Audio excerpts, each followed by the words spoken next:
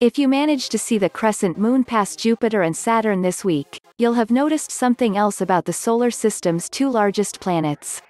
They're now really, really close to each other, and on December 21, 2020, the date of the December solstice, they're going to almost appear to collide to become one super bright point of light.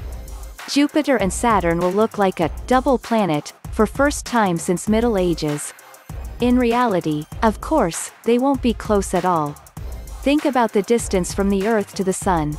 That's what astronomers call an astronomical unit, oh, and it's how they measure distances in the vastness of the solar system. Jupiter is 5-0 from us. Saturn is 10-0. These two planets aligned in the solar system a few weeks ago, but on December 21st they'll appear aligned to us on Earth.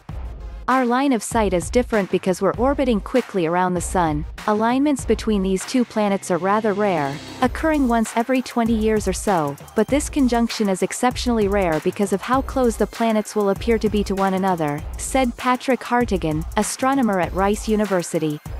You'd have to go all the way back to just before dawn on March 4, 1226, to see a closer alignment between these objects visible in the night sky.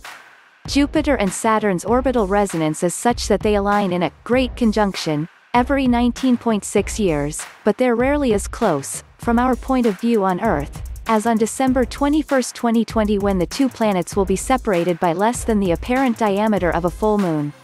A conjunction is when two objects line up in the sky. It's thought by some, including legendary German astronomer Johannes Kepler, that the Star of Bethlehem, in the story of the Magi or Three Wise Men, could have been a rare triple conjunction of Jupiter, Saturn and Venus. The rare celestial event will be observable anywhere on Earth where skies are clear. The planets will appear low in the western sky for about an hour after sunset as viewed from the northern hemisphere, and though they'll be closest on December 21, 2020, you can look each evening that week. Although the sight will be sinking towards the horizon, it will be bright enough to be viewed in twilight. All you need is an unobstructed view to the southwest, and to look to the southwest from about 45 minutes after sunset where you are. For telescope viewers, on December 21, 2020, each planet and several of their largest moons will be visible in the same field of view that evening. A great conjunction, this close won't happen again until March 15, 2080. Wishing you clear skies and wide eyes.